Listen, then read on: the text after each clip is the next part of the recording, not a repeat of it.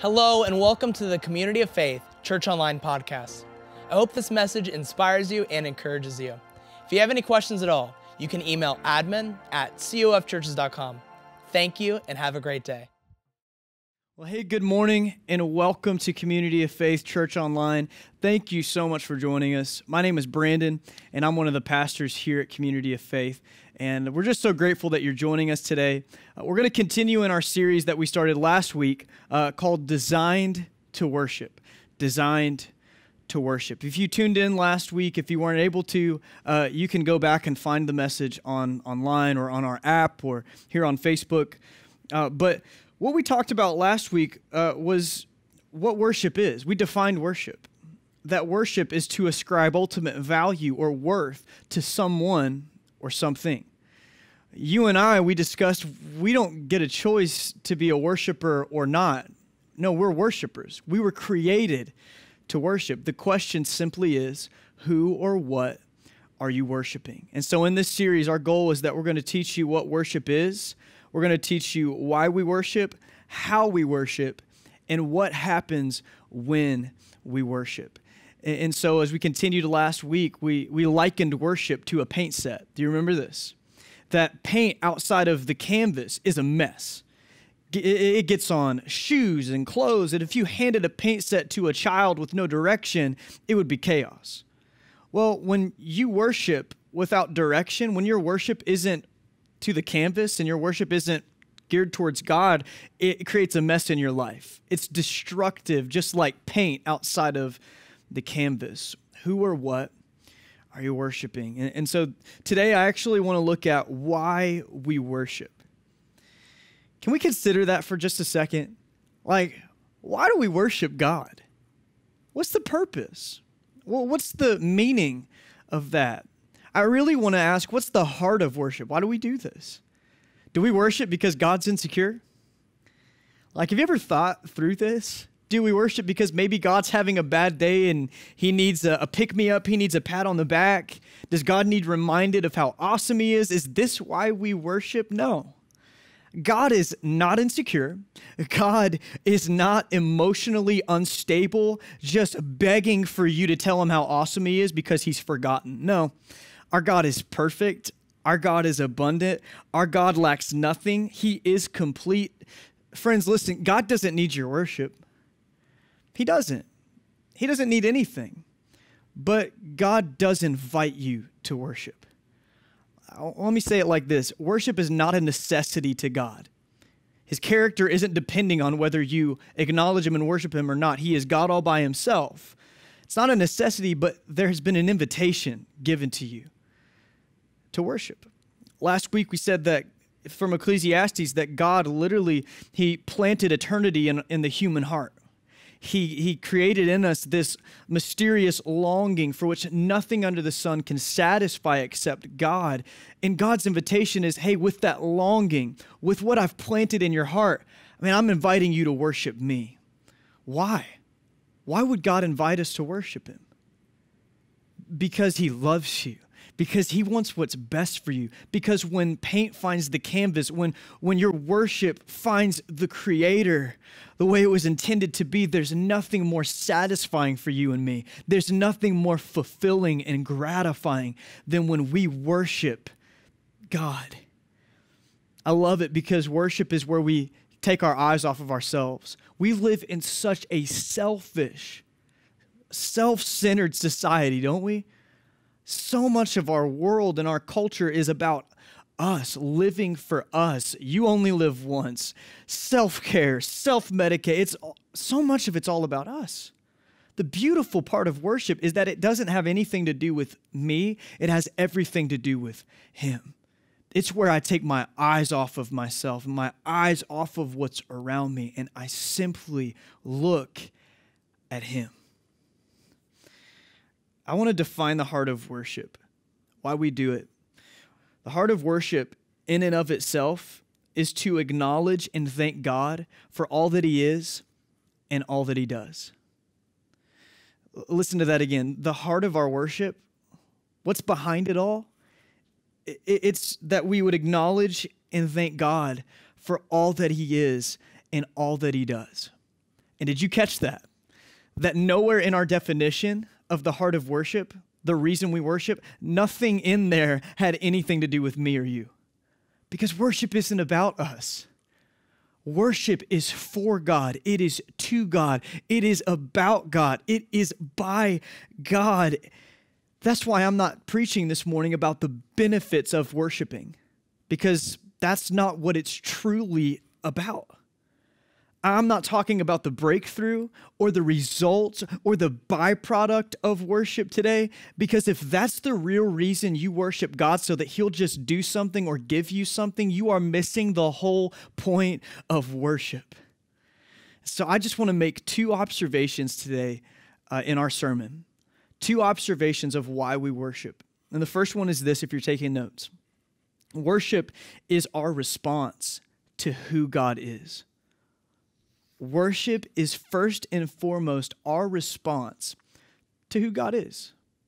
The real reason we worship, church, is found in the very first verse in your Bible, Genesis chapter 1 in verse 1, that says, In the beginning, God. Let's just consider this for a moment, right? We worship God because He's God. Like, he, he, he is He's the Alpha and the Omega. We worship God because He is the creator of the cosmos. He, he, literally created with His breath the very stars in our galaxy and universe. And He knows them by name and He knows how many of them there are. He's the mountain sculptor, he, He's the ocean holder. We worship God first and foremost because He is, in fact, God. And his character needs no alterations. His character needs no adjustments. He is God alone, God all by himself. We worship him because of who he is. And, and I want to show you this maybe even in, in a greater depth in Isaiah chapter 40. And we're going to just read verse 12 through 16. And this is a little bit lengthy, but I want you to understand just the vastness and the greatness of our God. And, and this is truly why we worship him. This is what it says in, in Isaiah. It says, Who else has held the oceans in his hands? Who else has done that? Think about it. Who else has held the oceans? Who else has measured off the heavens with his very fingers? Who else knows the weight of the earth and has weighed the mountains and hills on a scale? Who is able to advise the Spirit of the Lord? Who knows enough to give him advice or to teach him anything? Has the Lord ever needed anyone's advice? Does he need instruction about what is good? Did somebody teach him what is right or show him the path of justice? No. For all the nations of the world are but a drop in the bucket. They're nothing more than dust on the scales. God picks up the whole earth as though it were a grain of sand. And verse 16 says this All the wood in Lebanon's forest all of Lebanon's animals would not be enough to make a burnt offering worthy of our God. As we consider all that He is, think about this. It, just said all, all the wood in Lebanon's forest. How many trees are within the very forest? All the timber, all the lumber would not be enough to make a burnt offering worthy of our God. All of the animals hundreds upon hundreds, thousands upon thousands. Think of how many animals fill the forest. They wouldn't be enough to create an altar of worship worthy of our God. It, doesn't even scratch the surface of what He deserves. I, I just, I don't know about you this morning, but I just feel this thing. I don't know about you, but I just get this sense that worship is so much more uh, than, than Jericho walls falling down and prison doors flinging open because when, when they worshiped in, in scripture that jericho walls fell down. You remember this? When they worshiped paul and silas they were worshiping and, and the prison doors flung open. I have this feeling though that worship is so much more than the results. Worship is so much more than breakthroughs taking place and situations changing. Worship is about him not about just what he can do. But first and foremost we worship god for just simply who he is. He's god and god alone and we see this so beautifully in Matthew chapter 2, verse 11. Um, the wise men that show up at, at the birth of Jesus. Matthew chapter 2, verse 11, they, they show up, and this is what it says. It says, After entering the house, these kings, these men, they saw the child with Mary, and they fell down and worshiped him. Then, after opening their treasure gifts, they presented. Uh, they presented him gifts fit for a king, gifts of gold, frankincense, and myrrh. Think about the journey these guys had, right? These foreign kings, uh, they travel uh, over 500 miles looking for Jesus, following the stars, trying to find the one, the Messiah, the King of Kings, the Lord of Lords. They, they went on a journey of over 500 miles.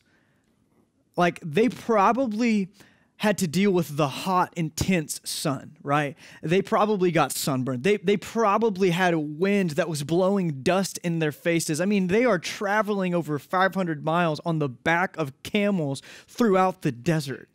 I mean, can, can you consider this? They probably had uh, sore muscles, right? They, they, they probably uh, even had blisters on their feet as they walked getting to Jesus, making this journey seems a bit inconvenient, right? A 500 mile journey. But they sacrifice of their time, they sacrifice of their resources, they sacrifice their comfort. Why? To come and worship the King. And the Bible says this, we just read it, that when they saw the child, when they saw God, they could not help but worship him. In this moment, they are worshiping a toddler. I mean, Jesus hasn't preached one single sermon at this point. They bring gifts, they bring worship, and Jesus hasn't performed one sign, one wonder, one miracle. Uh, Jesus hasn't even went to the cross yet, but these men of royalty and honor, these foreign kings, these wealthy scholars, when they see God, all they can do is fall on their faces in the dust of the ground and worship him. They didn't worship because of what Jesus had done. They didn't worship because of a miracle he performed. They weren't responding to an altar call at the end of a sermon. They were simply worshiping God with expecting nothing in return, no strings attached, worshiping Him for who He is. And they even gave gifts for who He is. You know what they understood about worship that I think sometimes we miss? They understood that the heart of worship was not to make an investment and get a return they understood that the heart of worship was to make a sacrifice and offer up a gift. That's why they were willing to sacrifice everything. I mean, how long did it take for them to travel over 500 miles? But they understood the power and the significance of the one they came to worship. There was nothing too inconvenient for them, there was nothing too difficult, there was nothing that they wouldn't do to come worship God for who He is. They understood the value of, of the one they were worshiping. Man, the heart of our worship, the reason we do it cannot be to make an investment with God so that He'll do something for us. The heart of our worship has to be like these men to make a sacrifice and offer a gift. And worship, it, it will cost you your comfort, it will cost you your convenience. But is Jesus not worthy of that? These men obviously thought so. Is Jesus not worthy of you sacrificing your comfort? You see, there are some of us who we refuse to sing because we don't want anybody to hear us. Uh, we refuse to engage and would rather spectate because we don't want anybody to look at us. Uh, we, we, we are unwilling to sacrifice our comfort, so we'll never lift our hands and, and, and, and, and surrender to God. We, we won't do it because we're not willing to let go of our comfort. Is he not worthy? What, what, what, do you think it was comfortable for Jesus to go to the cross for you? Come on, he, he is worthy of a worship that costs you something. It cost Jesus everything. How can we hold anything back from him? Worship. Here's my second point. point First is this that we worship God for who He is. And the second thing is we worship God from what He's done. It's our response to what God has already done. If we're honest, uh, don't we sometimes say things like this? Well, God, when you answer my prayer request, then I'll worship you. I'll, I'll, I'll, cut you a deal, God, uh, when I get the breakthrough, when I get the miracle, um, when uh, you show up and, and you change my situation or my circumstance, then you hold up to your end of the deal. Then I, I promise y'all, I'll worship you then. But you need to know this if God never did one more single thing for any of us, the fact that he sent his son to die on a cross for you is more than enough reason to worship for the rest of your life. If he never did anything else, I'm telling you, if he never answered one more prayer request I had, the fact that he sent Jesus so that I could have life and life everlasting is more than enough reason to worship him and praise him for the rest of my life. Come on, we worship God because he gave us life through his son. We worship him because the blood of his son cleanses us, frees us, redeems us, forgives us, removes our sin, and gives us life forevermore. If you're withholding your worship from God until you think he's worthy, you've missed the whole point if you are withholding your worship until you think God has proved himself, like he's got some more earning and working to do before you worship him, if that's how you feel, you have missed the entire point. And what you're saying is that the cross clearly wasn't enough. What he did, he's got to do more before I worship him. That's what you're saying. In the reality, church, if that's how you worship, if you're waiting for him to prove himself, what you're really doing is your worship is in vain because you're not worshiping the vine, Him. You're actually just worshiping the fruit. It's all about the fruit for you and it has nothing to really do with the vine. Why do you worship? We worship for who He is and what He's already done for us. If He never did another thing, sending Jesus was more than enough reason to worship Him forever. You know, like the woman uh, in, in Luke chapter 7 uh, who, who had this alabaster jar. And it was this jar uh, filled with this very expensive oil, this perfume. And, and this woman understood the heart of worship. She understood the value of Jesus. And, and, and, what she did is that Jesus was at this at this Pharisee's house and they're having dinner together and this woman she wasn't invited to the house. She didn't get an invitation to the dinner party, but yet she she comes through the door and she opens it up and she interrupts their entire dinner, their entire moment. And unexpectedly, she comes in with this jar of oil that would cost a year's wages, and she begins to pour it out all over Jesus. And she pours it out on his feet. And, and, and the Bible says that she gets down on her knees and she's weeping with gratitude and with, with worship. And she begins to even wipe his feet with her very hair and her tears. For this woman to interrupt the whole moment, for this woman to, to come and worship Jesus in this way, this was a sacrifice. This was a costly worship. She sacrificed her pride and she sacrificed her comfort. Look at this in 1 Corinthians 11 15. It said, Isn't, isn't long hair a woman's pride? This woman sacrificed her pride. She put herself aside. She didn't care what anybody else in the room thought.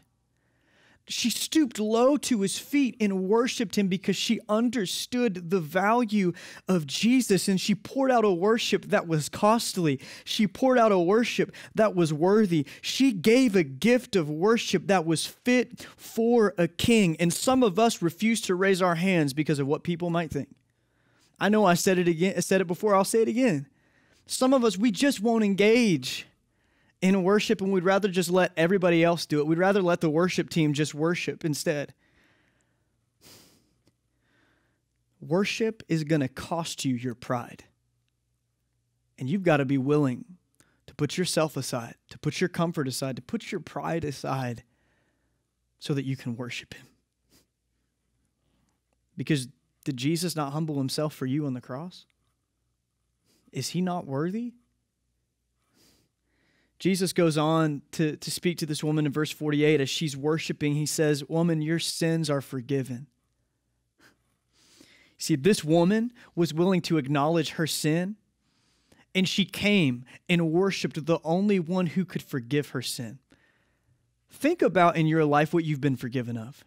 Think about what Jesus has done in your life and the price he paid for you. What has he forgiven you of? What has he redeemed you from? What has he purchased you out of? What has he freed you from? Because when you consider the cross and when you consider the work and the blood of Jesus, how can you not humble yourself and worship him in such a way that costs you something? That is sacrificial. How can we hold on to our pride and our convenience and our comfort when we know he never did that for us? He laid aside everything and he became a man and he lived a perfect life and he bore the sins of humanity so that you could be whole, forgiven, set free, redeemed, and you could have life forevermore. And we're going to hold on our, to our worship until he does more? Man, worship is our response to what he's already done. But here's the thing worship is also, also a result of what God has done. It's because of the blood of Jesus that there's no veil between us and the Holy of Holies.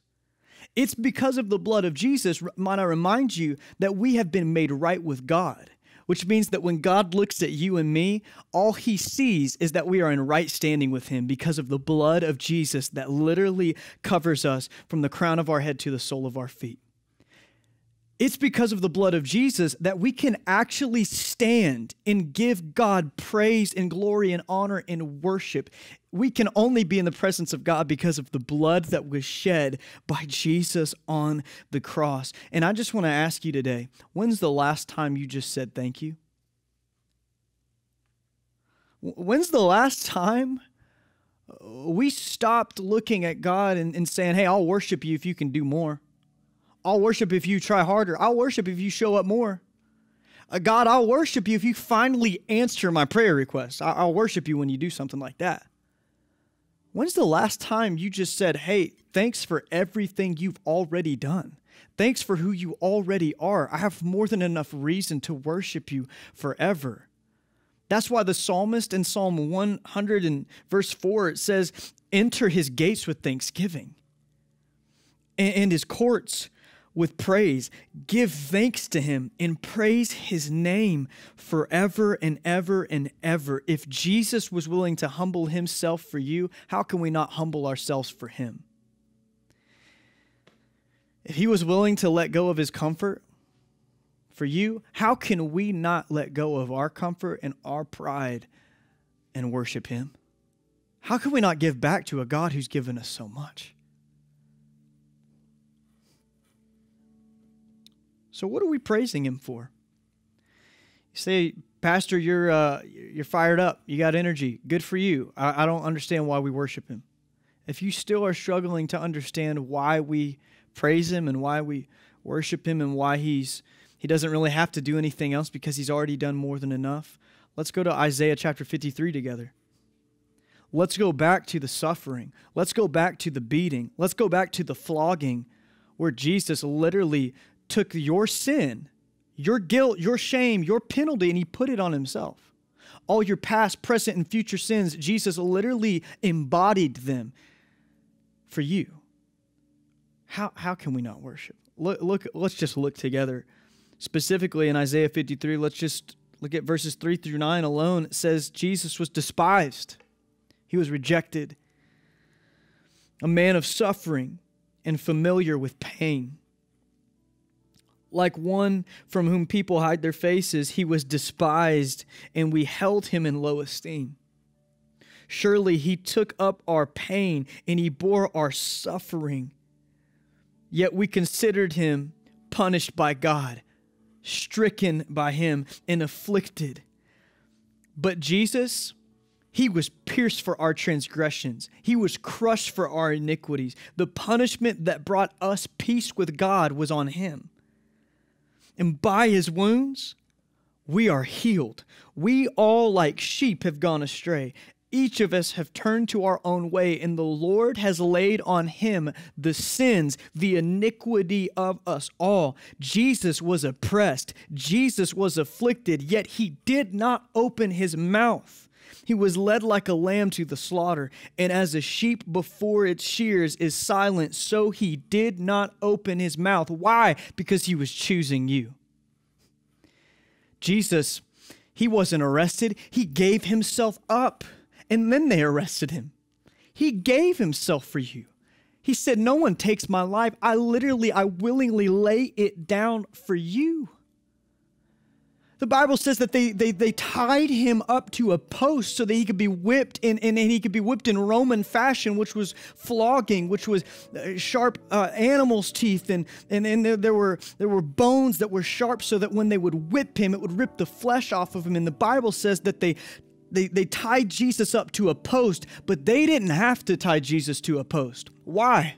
Because he would have held on to that post for you. He chose you. He, he literally was standing in your place and thinking of you the whole time. How can we not worship him? Verse 8, it says, By oppression and judgment, Jesus was taken away. Yet who of his generation protested? For he was cut off from the land of the living. For the transgression of my people he was punished. He was assigned a grave with the wicked and with the rich in his death, though he had done no violence, nor was any deceit in his mouth. One more scripture just to show you the sacrifice of Jesus Christ on your behalf. We got a lot to be grateful for. If he never did anything else, I've got so much to worship him for. Look at this. 1 Peter chapter 2 verse 24 it says Jesus personally watch this. Uh, listen to this that he personally. Let this actually hit your heart today personally. Jesus personally carried your sins in his body on the cross that you can be dead to sin and live for what is right. By his wounds, you are healed. If he never did anything else, he doesn't have to prove himself, he doesn't have to show me more. He is worthy of a worship that costs you something. He is worthy of a worship that will cost you your pride, cost you your comfort. If he went all in for you, how can you not go all in for him? If the woman with the alabaster jar laid everything aside and gave him a worthy worship? If the wise men were willing to make over a 500 mile journey that was difficult, that was painful, that was challenging, that was uncomfortable, if they were willing to give Jesus a worthy worship, in light of all that God is and all that God has done, in light of his worthiness, you need to ask yourself the question is my worship, how I've been worshiping, is it worthy of Him? Am I always only putting my hands in my pocket and letting everybody else engage and letting everybody else praise God and, and say thank you? And, and am, I, am I only letting the worship team do the worship leading? And is your worship worthy of a king?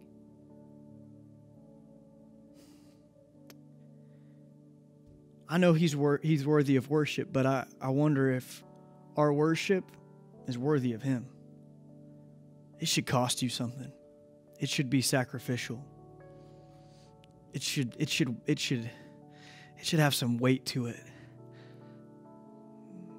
If he went all in, if he gave everything, I, I just can't imagine any of us withholding our worship anymore. I want to end with, with 2 Samuel because David, David understood the value of God and, and all that God had done for him. And in 2 Samuel, uh, a prophet had come to David and instructed him to go and build an altar to worship the Lord and to offer sacrifices to him. And when David found the field that he was going to use to, to sacrifice and, and, and, um, perform burnt offerings unto the Lord, when he found that field, the owner of the field came out and said, "Hey, uh, I know what you're doing here. I'm I'm, I'm going to let you just just have this field for free." And David said, "No, I I I, I want to pay you for this field." Look what he says to him in, in verse 24. Chapter 24, verse 24, he says, I insist on paying you for it. I'm not going to just take this field for free. I will not sacrifice to the Lord my God burnt offerings that cost me nothing. So, David, it was sacrificial. It was costly. He bought the threshing floor and the oxen, and he paid 50 shekels of silver for them. Why? Because David understood the value of God, and his worship was worthy of a king. Is your worship the way you've been a, a, approaching God with your worship? Is it worthy of a king? Is it fit for a king? Let go of your pride let, let go of your comfort. Lay aside this vending machine mentality where you're just trying to, to worship so that you can get something from God. Let's worship from a place of who He is and what He's already done. The team is going to lead us in a song as we conclude our service today. And I just want you to worship God in a way that maybe you've never worshiped Him before. Wherever you're watching this, maybe you're in the car I just want you to really think about what he's done and who he is. If you're not in the car and you're at home watching this, why don't you just put your hands up, this act of surrender? What if it what if it's uncomfortable? What if man is, is he not worthy of letting go of our comfort and our pride? Maybe for you it's actually singing along and not just simply watching the, the team on the screen. Whatever you need to do Make sure that the worship you give him today is worthy of who he is and what he's done. This is the heart of worship. Father, we love you so much. God, we are so grateful for all that you are and all that you've done. Thank you for sending us Jesus. Jesus, thank you for humbling yourself and coming to this fallen, broken planet in living a perfect, sinless life, in bearing the weight of all of our transgressions and iniquities, and taking all of our debt and paying it in full. You took every sickness, you took every disease, you took every imperfection, you took every flaw of humanity, and you put it on yourself. For our sins were on you while you hung on the cross and while you were beaten to a bloody pulp. And it's because of your blood that we even have the ability to worship. God, thank you. Jesus, you are so good. You are so wonderful. May we give you worship that is worthy, that is costly, that is sacrificial in light of all that you are and all that you've done. We love you. It's in Jesus' name we pray. Amen and amen. We love you all. Have a wonderful week. Thank you for listening to the Community of Faith Church Online podcast. If you have any questions at all, you can email admin at cofchurches.com. And if you're new with us today and looking for the next step, go to cofchurches.com slash get connected. And finally, if you feel led to give, go to cofchurches.com slash give or click the give button on the COF app. Thank you and have a wonderful day.